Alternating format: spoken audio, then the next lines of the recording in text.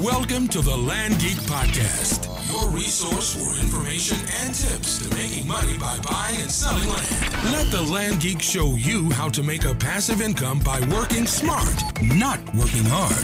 Learn strategies and tricks to make money buying and selling raw land today. And here's the man that's going to help you do that the Land Geek. Hey, it's Mark Podolsky, the Land Geek at thelandgeek.com. And today I have with me Yep, you guessed it. The man living on the beach in Carlsbad, California, severely sunburned from surfing yesterday. Nothing pleases me more when Duran Fraser from Reserve Land and RuralPropertyFinder.com is in severe pain. Duran, how you feeling? I am hurting, Mark. I mean, sitting in a chair talking to you hurts worse than my my back pain, but it's you know I'm cool. Yeah, there's this new thing out in the marketplace called sunscreen. Never heard of it. What does it do? It's it's, it's incredible. It, it protects you from the UV rays. UV. Okay, I'll take I'll take a look at that. Interesting. Yeah. But you know what? Let's not talk about your poor judgment when dealing with the sun and the ocean surfing. Let's talk about what people want to hear about. And so I'm getting a lot of emails lately, and this podcast is going to be strictly about getting started. Newbies, newbies welcome. And most of you know our story, but if you don't, I started with $3,000 and no real estate experience and uh, just a lot of uh, nerve. Duran started with even less, $800. And you you had no background in real estate, correct? Absolutely none. Right. So neither one of us had taken a real estate course. Um, neither one of us worked in brokerage, had any real estate background whatsoever. Um, nevertheless, we were both drawn to the siren song of land buying. And my big thing, you know, the way I did it was I convinced my wife to take like our last three thousand dollars in savings and buy land because I said, worst case scenario, if we can't sell it, at least we own land. So I'm not buying it, Mark. I'm not buying it. You know what? You were an investment banker. There's no, and you were, and you were probably darn good at it. There's no way you had three grand in the bank. Come on, dude. No, I really did. You, I really did. Three thousand savings. Because I'll tell you what happened with with uh, you know being an investment banker or business broker is that you'd have to save. So you know you might do a big deal, right? And it could be a six figure commission, but it's such a long sales cycle that at that time, I mean, I was making, you know, very little salary, like $2,000 a month plus commission. So you had to do a big deal and save every money, every dollar that you had, save for living expenses. So there was nothing really discretionary left over for anything else. So that's all I had was $3,000 for anything else. Wow. I'm impressed. Yeah. I, I was in college, uh, and you know the story, but I had to borrow 500 bucks from my mom and sister and uh, took 800 bucks that I had in the bank, and uh, off I went. So yeah, we both have similar backgrounds and stories, which is pretty cool. Right. So people are always asking me, how much do I need to get started? What would you say you need to get started? You really don't need anything to get started. You don't, right? Because you could just quickly wholesale a deal out. Correct. Correct. And you know the interesting part about the internet today and where it wasn't in 99 or 2000 was you could put out some emails, you could market something quick. We didn't have Craigslist in 1999 or 2000, 2001 when I got in the business. So it wasn't as simple as it is today. You can find it, you could literally find a buyer in an hour with a piece of property, whereas maybe 10 or 12 years ago, it wasn't that simple. So there's a lot of tools to your advantage that you could use uh, in, in this day and age that could literally close a deal without having to spend a dime. Right, right. I mean, literally, um, you could probably spend what, a hundred dollars on a on a letter writing campaign, right? Correct. And just make offers, get those offers back, and then go to somebody like me or Duran and flip it for what ten percent, fifteen percent markup. Yep. Make make a couple thousand dollars without literally putting any money out, just finding the deal. And you could also you could also comb several other websites, Penny Saver, Craigslist, know the market, understand it, get a feel for what you're trying to look for whether it's Texas land or Nevada land or California land and find find market values and from there maybe find a deal online and make a quick offer. Tell them you'll do an option contract and you know for a hundred dollars on the land, and uh, you give you take a thirty day contract, and you have you know and you, you have to you have an option price of let's say you know four grand, and you end up getting a sale of eight or ten. Right. And- Right. So, okay, let's explain the difference between an option and a regular agreement. So, the option agreement gives you the option of buying that property, and typically there's an option fee with it. I typically offer 50 bucks. What do you have for your option fee agreements? Mine are generally hundred dollars. I'm a uh. little but again the difference between you and I is there you go, hundred percent. You're so you're so generous. Hundred dollars. Okay. So, but ba- so we- we're saying you don't need anything, but in this scenario, you need at least hundred dollars to get started. Correct? Yeah, but we can't say hundred dollars is much money. I mean, if you can't, if look, if you can't get hundred dollars from your friend or your neighbor or somebody, and you don't have the money, I this may not be. Yeah, but that's that, then we're being disingenuous. We're saying you can start with nothing. Let's what, let, let me let's just True. let's look at a, a deal where you can start with nothing, and then we'll go to the option. Okay, okay, true. All right. Let's okay. You're a newbie. You've got literally nothing. Obviously, you've got to have something because you've got a computer. You're listening to this podcast. If you can afford a computer, you could probably afford, you know, to do this. Nevertheless, let's just assume that you have zero money set aside in savings. You're living so tight month to month. There's nothing to do except figure out with your resources and your guts and your determination, your grit, how to get a deal and make some money. How how would you do that? How would you structure it? Are you asking me that question? Yeah, yeah. I mean, I know what I would do, but I'm just asking what you would do. you know what? It's been so long since I had to worry about that. I don't know. Why, why don't you answer that question? I mean, that's you know, to be honest with you, I don't, I don't know. I think there's so many ways you could start. That's that's the the benefit, right? Looking looking at today's market, if I had no money, I would be with my internet knowledge. I'd be looking at different websites, Oodle, all the sites that you wouldn't necessarily find. You know, the land watches and the Lands of America sites aren't going to necessarily find you the great deals.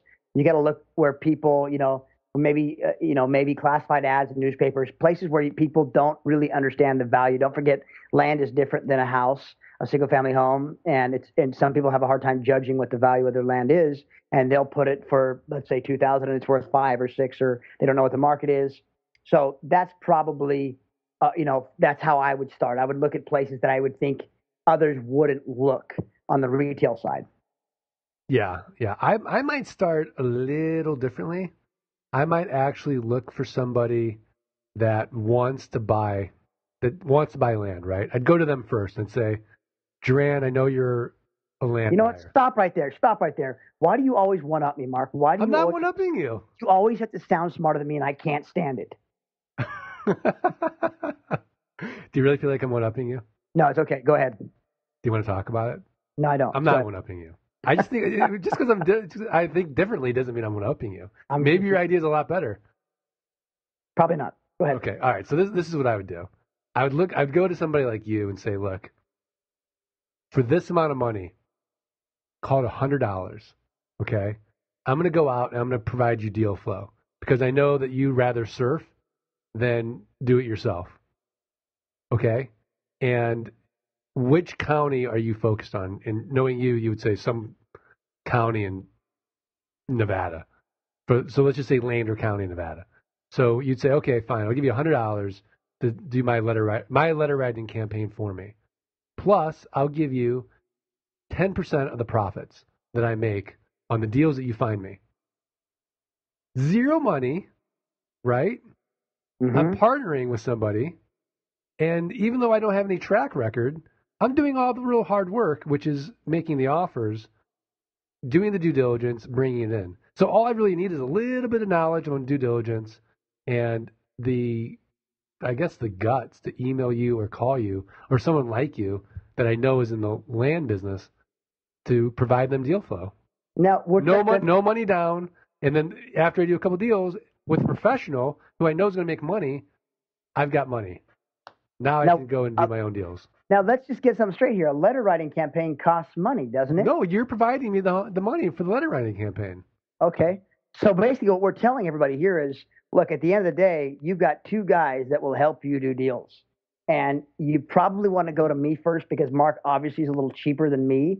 Um, and, yeah, based on my and- option offers. and, and I will and I will squeeze extra money out for you. So come to reserveland.com. You write me an email, and I'll help you with no money out of your pocket. Go to market and need at least fifty dollars. okay, this is just an example.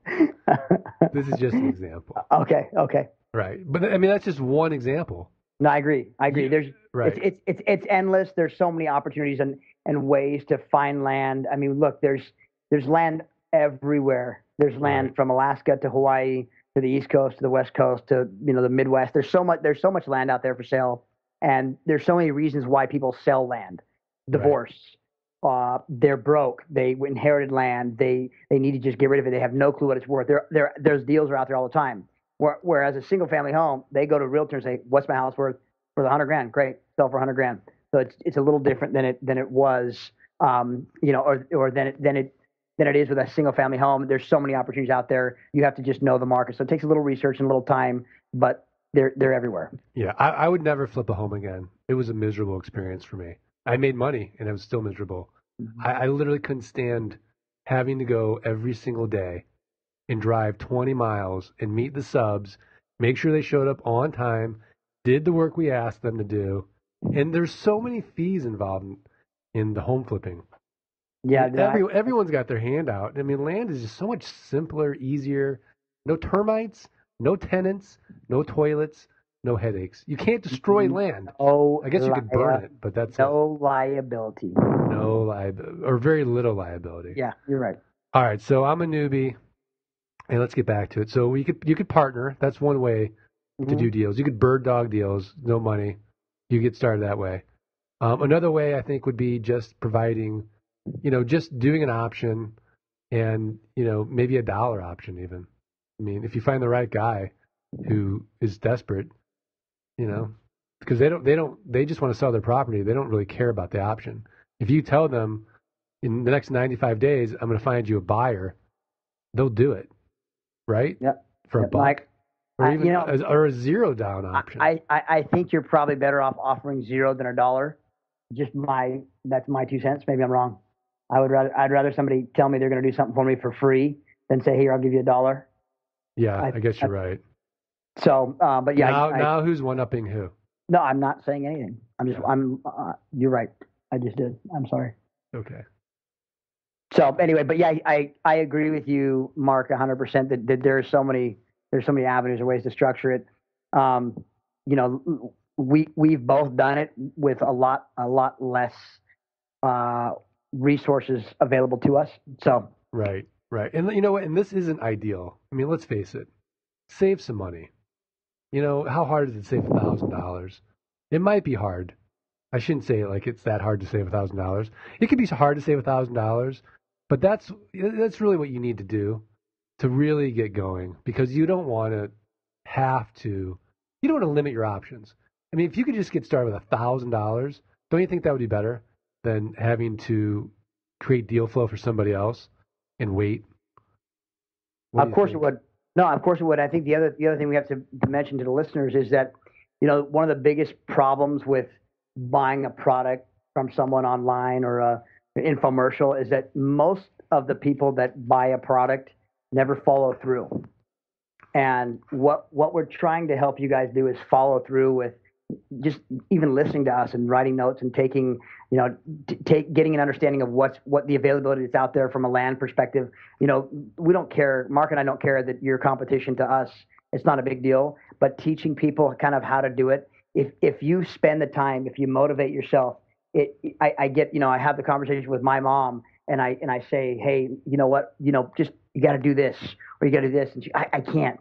And th- those two words i can't if those two words come up and with my children, it's a bad day. It's a bad day because I can't It's not in their vocabulary. So that's just how, how I am as a, as a motivated entrepreneur. I know that Mark is the same way. I can do anything I want. And so you guys have to train your brains to do anything. Don't say I can't or I don't have the money because you can get the money. Um, Right. Whether Right. it's a, whether it's Mark or me, and I'm not trying to be Tony Robbins, but but if I can be to you, great. I, I just want people to realize that it's not that hard. You just have to go out there and make it happen. No, I to- uh, you know what? I totally agree. And and when someone tells me they can't do something, I always look at them like, you mm-hmm. realize we just put a little, you know, rover on Mars. We went to Mars. Did you ever see that video? Nothing is impossible. Anything worth doing is possible these days. There's 3D printers. There's self-driving cars. These people are no smarter than you are. They just figured this stuff out because they spent time. It's just about spending time. I love uh, that Malcolm Gladwell book, uh, Outliers, and he talks about the 10,000 hour rule. You can become an expert in anything if you just spend 10,000 hours. So that's 10 years, eight hours a day, right? And you're an expert. So technically, we are now experts in land. That is that is awesome. You know, it's interesting too is when you sit down with somebody and you have the knowledge you have about your particular industry. You know, you may talk to a doctor, and I've, I have a, I, you know, I, I run in circles with a lot of friends that are doctors, and I happen to talk to these guys that that will will say, hey, so what do you do for work? And I'll talk to them about you know something entrepreneurial or real estate or land, and they're baffled. They're like, wow. And people are always intrigued to know what you do. Like it's not a it's not just about well i'm trying to get involved in this or get involved in that they want to know a lot of like doctors don't find themselves that much smarter than you they they just have expertise in what they do so you have to always you know keep in mind that people are intrigued by the fact that you're out there trying to buy land or you have an idea of buying land and listen they may have you, you may find a doctor that has an idea for you so right right yeah absolutely i mean uh, one of my investors is, is an ophthalmologist never met him just sends me money because he wants me to invest for him. And does, uh, does it's he great. need any? Does he need other uh, investors? Because I I like paycheck or I like checks that are in my name. You want some investors? I just want some money. Just You, you just want me to send you money? yeah, if that's cool. I'm a I'm a nonprofit, 501c3. I see. so if you just want to send Duran a check because you like the way he talks on the podcast, you know, I'll, I'll, I'll go to reserveland.com. I'll, he'll put a little PayPal thing up and just send him money. Uh, buy now, buy it now. Buy it now. Okay, let's let's stop being so silly. All right, Okay. let's get back to it. All right, so you're a newbie, and there's a couple ways now that you can literally get started with no money down. We do recommend that you have some money, ideally, to get started. It'll make things a lot easier. You'll become much more profitable faster. Would you agree with that, Duran, or what do you think? Not not necessarily, but as I always tell somebody with money, the more money you have, the more confidence you have, the more you're probably going to be creative and find find ways to make things happen. Right, right. So even if you start with a thousand dollars, I tell I tell people, you know, ideally, I'd like you to start with at least five thousand dollars. You can you can, you know, do a lot of different things with just five thousand dollars. But no worries, you can still do this, and there's lots of different ways to get started: wholesaling, partnering, bird dogging, whatever you want to call it, with no money down, as long as you're willing to do a little bit of work, right? I agree. Okay. So I'm glad we got that figured out. So it is possible to get started inland, no money down. Now, some people say, you know, why not do single family homes, no money down? I, I don't even know how that's possible. How do I mean, you just leverage a house and their assets, or you get the owner to finance you? That's another thing is you can you can do owner financing 100%, and there's that's a no money down deal, correct? Yeah, and, and a market, and you know, it's all market those, dependent. those aren't so- really realistic Y- these they're days. not not not today. Um, you know what's interesting is it's funny I say not today, but a year and a half ago when the market was sort of dead, you could have been creative and made something work if you found the right seller. Today's market, I mean, you put a house on the market for three hundred grand, it sells for four hundred. So and you know, and market value may have been three hundred, but people are paying. You know, I heard I've, I've heard of hedge funds paying fifty thousand over over asking for some of these homes here in San Diego because they're just renting them out. So it, it today's market's very interesting. But yes, in a- in a market that's down, where where we're in a in in a you know buyer's market, not a seller's market, you have the opportunity to buy a home and get creative. But in a market like today, no, if a seller did that, they wouldn't be very intelligent. Um, they would go list a house with a realtor and and get get their money. Right, right. Okay, so what would be your advice to somebody saying, okay, I just want to get started in land? What's like the first thing you'd have them do? I would probably research. I would probably research on on on several levels, but I'd probably research understand like real estate 101. Understand the basics. What what is land? You know, I, I and I don't know if there's. I think there's a site called lynda.com we talked about. Yeah, lynda.com. You can learn pretty much anything there. Yeah, I why, think why not get started with with the pod like our podcast? No, I that that would be great. I mean, uh, you know, listening to Mark and I talk, and then Mark has, you know, I think Mark has a program that you know I help him out with, and and I think with with those programs there are ways that, that obviously if you have no money, um, you know, you have people like resources like Mark and I that can help you. Right, right. So there are, you know, there's free resources. If you want to save yourself a lot of time, you can always, you know, get my investors toolkit, which is due diligence, marketing, copywriting, uh, deal flow, and then creating your virtual assistant team. But I'm assuming that you just literally have nothing right now to start except just motivation. So I think the first place you could probably go and get free information would probably be either YouTube, lynda.com, and just start learning about in the internet and just le- start learning about researching and doing due diligence. I would start with due diligence, wouldn't you? Before you 100%. get into marketing and, and uh, deal flow. Of course. Yeah, because you don't want to make you don't want to make a mistake when you first your first deal out of the gate and end up losing money. That that would be a, just a nightmare. Or or put yourself in a situation where you've you've said something that you shouldn't have said, which is you know mineral rights attached to the land and they're not, and then the buyer comes after you, and so there's there you have to understand the basics of land. So just knowing, uh, you know, from from what you know what an acre is, how many square feet, to what a section of land is, that kind of stuff. Right. So just get your language vocabulary, and there's tons of free information now um, out there. Yep. And we'll and we'll be doing uh, Mark and I will both be working on it, but um, freelandreport.com, which will hopefully launch here in the next couple of months. Uh, we're going to put out a monthly newsletter with uh, with basically some. And again, it's not a plug. It's just I think it's going to be helpful for people to get out to get out there and, and understand where the market's heading, what's going on, some statistics, kind of a nationwide guide to buying and selling land. Right. Right. So speaking of the market, how are you feeling about the market these days? God, that's a tough question, Mark. Um, I, you know, one one week I think it's up, and the next week I think it's down. You know, it's so interesting. I look at I look at sort of the, the global global economics, and I get a little nervous. But it was so interesting is that land in a down economy, land is now seems to be a little bit more intriguing to the investor because obviously as the equity markets or the stock market is at an all time high, people start going, and most of the people that are making money in the market today aren't the, the guys like you and I. So, but these investors are now looking at, at alternate alternative uh, investments, and land being one of them. Right. Uh, so, I, I- you know, I like I like the the three to five year and to ten year outlook on land. You know, we may have our ups and downs, and we may have you know even a down year if the stock market tanks, and we know that there's it's inevitable that there's going to be a correction at some point. Um, there, there may be some big changes, but uh, you know, to to to own land, you know, there's still a lot of buyers out there looking for a thousand, two thousand, five thousand dollar piece of land. You know, I I've actually the last few days have been really busy for me as well, selling land again. So it's interesting. But you know, going back to it, it's, it there's always a market for it.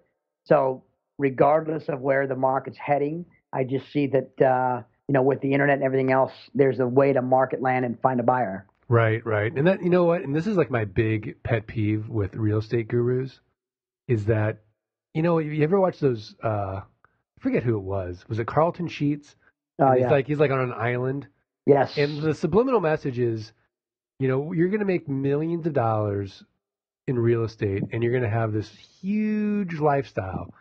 Big cars, big boats, big houses, and maybe you own your own private island, right?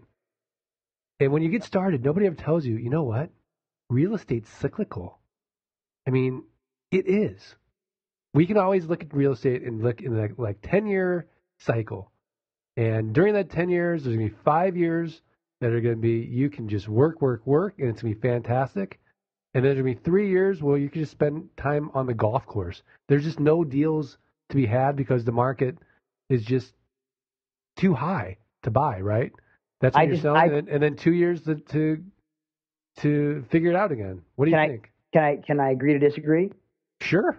Um, I just look at the market today as being 100% manipulated, meaning, uh, and and the land market can never really be manipulated, other than the fact that creative financing can can be tossed out, which is what they're trying to do. So the government has come in and said, look, okay, we're going to control the housing market, which they have. Um, I'm not sure where you live, but but the REO market and the short sale market nationwide is very interesting if you watch it. The deals being done are the, the deals behind behind closed doors. The 100 homes, 200 home, 500 home REO tapes being sold to these big banks and hedge funds. Those are the deals being done, and those are off-market deals that aren't appraised. So these guys are buying houses for 20 cents, 30 cents in the dollar, and they're holding them, holding on to them long term. And in, in the process, the, the REOs that are coming on the market and the short sales are being approved at very low rates. So you have these, so you have the, these homes trickling on. So what it's done is it's killed inventory and and and then they've and then what they've fed has done is they've bought mortgage-backed securities and that's pulled rates down so you push these rates you you artificially push rates down so that you bring in this buying pool of people so they can all afford a home from a payment perspective right and then you you have no supply so you drive the, the demand is obviously increased and home prices go up so what does that do well the banks now now their now their books look they look they look a lot better because they had a home that was 1.5 million dollars that was now worth that was worth 700 grand is now back to 1.4 or 1.5 or 1.6. I mean, I've seen homes in San Diego right now selling for higher than they sold at the very peak of the market in 2007. Yeah, so, yeah, but don't you think that that's a bubble? That's that's a that's that's not a correct. Yeah. Correct. But what I, what I'm saying is it's it's a manipulated cycle. So ordinarily an un you know an um an unmanipulated that's a word cycle of of home, of home buying and selling is does not involve the Fed, um, does not involve the banks. Um, I mean, short sales and REOs are are cyclical, but not being controlled. So and now but real estate's cyclical. There's but, it's a market. But what markets I'm, are cyclical. Yeah, I, but what I'm saying is that it's a it's a manipulated. So so last year, like we had a cycle. So 09, 2009, 2010, when the market dropped in oh, the end of 08, beginning of 2009, we had a, we had a cycle of of down of down years. So we didn't have people weren't buying land, people weren't buying homes. Then 2011 kind of started heating up. 2008, people weren't buying anything. No, toward the end, to, middle 2008, people were still buying. Toward the end of 2008, everything stopped. That's where everything stopped completely.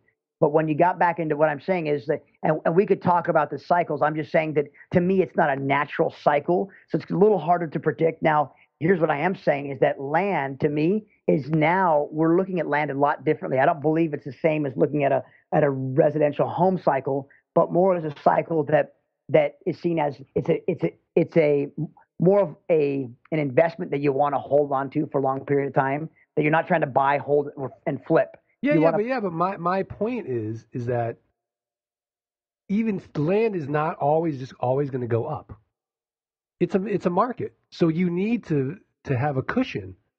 Agree. You need to have a cash cushion, is what I'm saying. Okay. So my I'm saying is that okay, let's say your first year in land, you've got a great market and you make three hundred fifty thousand dollars, right?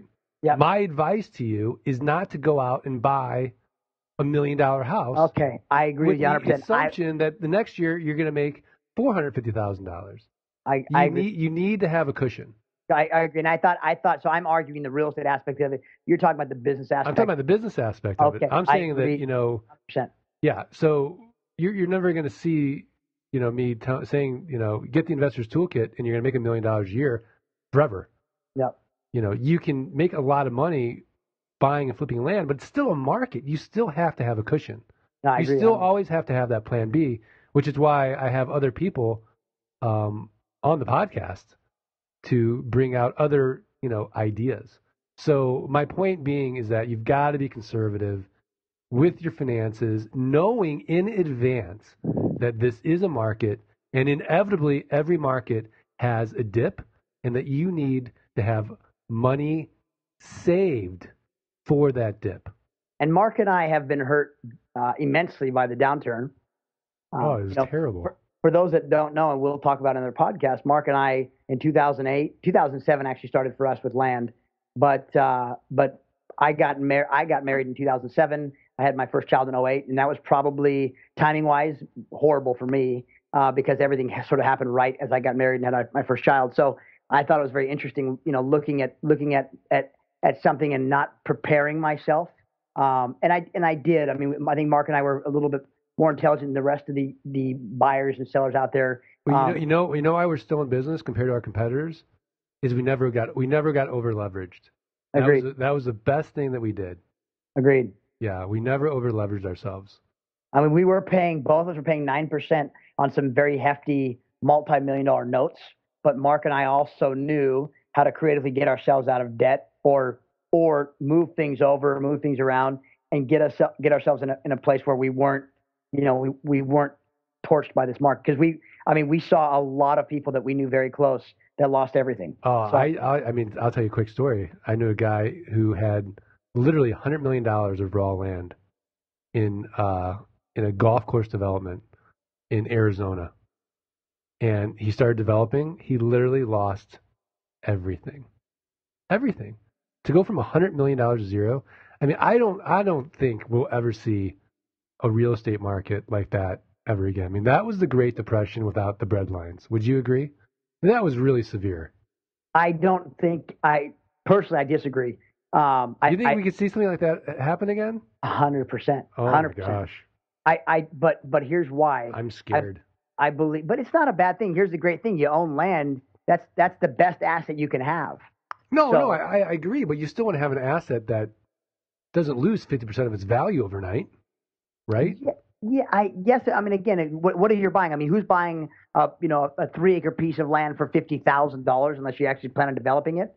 So uh, you know, if you look at land today now and look at it five years ago, guys, people were paying two hundred grand for ten acres or five acres. Right. In it, in it, I just it's not that valuable anymore because what the, the, the most difficult part of that parcel is actually developing it, is spending the money to, to you know subdivide and survey and so there's a lot more involved now where you look at a piece of land and if you're really buying a piece of land for 100, 100 grand um, unless you're buying you know 50 subdivision lots or 200 subdivision lots there's really a lot more risk but you're you're Yeah, more risk averse Yeah, you're, you're you're not playing in our niche anymore if you're doing that.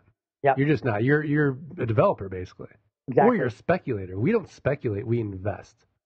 Right. Yep. If I Yep. can buy, I don't care what it is. It doesn't have to be land. If I can buy any asset, twenty cents on the dollar, I'm going to be okay. yeah don't ever Rega- call regardless of the market. Correct. Correct. Don't ever call me if you're if you're out there looking. Don't ever call me uh, and tell me that you got a piece of, a piece of land for a hundred grand. Um, I won't I won't answer your phone call uh, for sale. I'm not Yeah. helping you. Right. Right. Yeah. Don't don't don't call us. at forty acres for only hundred thousand dollars, Yes. unless it's on the ocean. Then we'll talk. Then we'll talk. Don't call Mark or call me. Wait, Duran, um, I kind of So lost you. anyway, Mark. Oh, I said don't. I said don't don't call don't call Mark. Call me if it's on the ocean. Right, right. Yeah. You got to go? I know I'm okay. You good? I'm good. All right. So, Well, uh, what's your tip of the day, Mark? You know, I want I want a good newbie tip. I'll tell you what my my my newbie tip is, and it's going to be a little self-serving. It's going to be YouTube.com slash The Land Geek, Wow. and go go to my YouTube channel and get the coffee talk. They're like two minute, three minute segments, and they're free tips, and I do them almost every other day. That's a good tip. No, a little, a little self-serving. Not bad. Little, little. That's an understatement, Mark. Come on. Okay, let's talk about ruralpropertyfinder.com again. Great idea. Thank you for bringing that Is up. Is that going to be your tip every week, by the way? My tip of the day, folks, is if you're looking for cheap land, go to ruralpropertyfinder.com because you won't find cheaper land anywhere in the U.S. Yeah, it's like a commercial. That's that's I, not. I, I want I want to put it in the uh, disclaimer. ruralpropertyfinder.com could end up lo- you could lose your hair. you could lose everything. Right. Please don't drink while using ruralpropertyfinder.com. Perfect. I like Go it. on ruralpropertyfinder.com safely. You know what? I, I will say that a, a good site that I, that is can be helpful for, for people. You know, Mark and I would go will generally go to blogs and we'll we'll blog about what we do or what we've done. And and uh, funny enough, Mark and I were actually laughing uh, before we got on this podcast about about this website biggerpockets.com, which I think is a great website and, and and you can utilize for knowledge of different concepts. You can actually find other people to help you do deals there. Yeah, yeah, we've we've talked about we've talked about biggerpockets.com in the past. Oh, we have. Okay. Yeah, I, I think so. I don't I don't recall, but anyways, it's a great site. Uh, it's a great tool to use, and uh, I would recommend people taking the time to kind of go on there, peruse the site, and see what what's on there, and if it's something you like, just be very careful because there's one guy that might hit you. Yeah, yeah. But you know what? That, that you know, Bigger Pockets, I think, is more single family home centric No, it's than not. anything else. It's not. Is it multi unit? No, Everything? maybe, maybe you're right, but I, I think I've seen a little bit of everything. okay. I mean, you can find a little bit of everything, but you're right. I mean, primarily it's home flipping, bird dogs looking for single family home flips, that kind of stuff. But I, I think there are there are some areas where you can get information about land or people that are like Mark and I that are willing to look, like check things out. And you know, for me, there's nothing self-serving. I'm not trying to, you know, other than ruralpropertyfinder.com. I'm not really trying to get you to look at anything else. Um, Right. So, but it's different than you know. I would just go for me. I just go straight to Land Geek. Yeah, yeah, yeah. Go to the, yeah, exactly. Go to landgeek.com, download the passive income blueprint. That's free, by the way. If you're ready to spend some serious money on this information and knowledge, go to landgeek.com slash product and, uh, you know, get the investor's toolkit. All right. So enough self-serving. That's, this is a really self-serving podcast. And I feel compelled to thank Duran Fraser from reserveland.com and of course ruralpropertyfinder.com for spending another day and his valuable time away from his family, his beautiful family, to take the time to talk with me and help everyone out there live the dream. Buy land, sell land, earn more, work less, and uh, share his tips and tricks. Thanks, Dran. Appreciate it. Thank you, thank you, buddy. Appreciate it. All right, everybody, go again to uh, thelandgeek.com, download the passive income blueprint, check out Dran, reserveland.com. Leave us a comment, something. Give us some feedback. What do you want to hear more about? So we appreciate it. We'll see you next time. Thanks. Thank you for listening to another episode of The Land Geek. Join us next time for more tips, secrets, and information that will help you succeed. Stay connected with The Land Geek on Facebook at facebook.com slash The Land Geek.